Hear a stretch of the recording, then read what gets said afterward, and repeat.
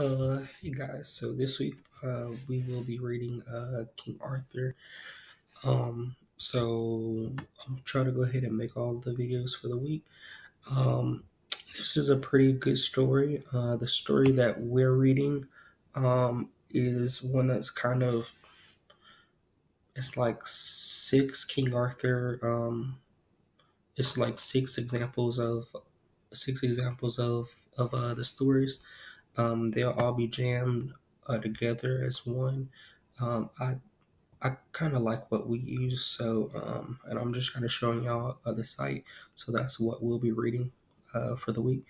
Um, so this is for Monday. We'll be doing. Um, I'll kind of talk about the um, Google Slides, and there is um, a little notes thing that I'll leave uh, uh, for y'all uh, for Tuesday and Wednesday.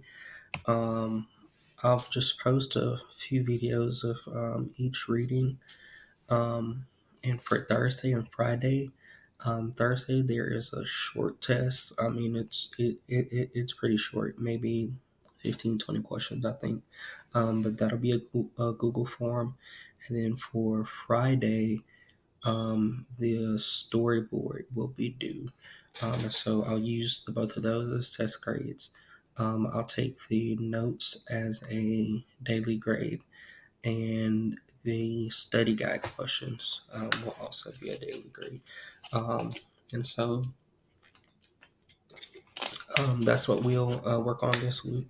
Um, there is a video on here um, that just kind of talks about like the legend of uh, talks about uh, the legend of uh, King Arthur um, and I'll come back um, and make another uh, short video of the notes. I'm just trying to keep these videos um, as not that long.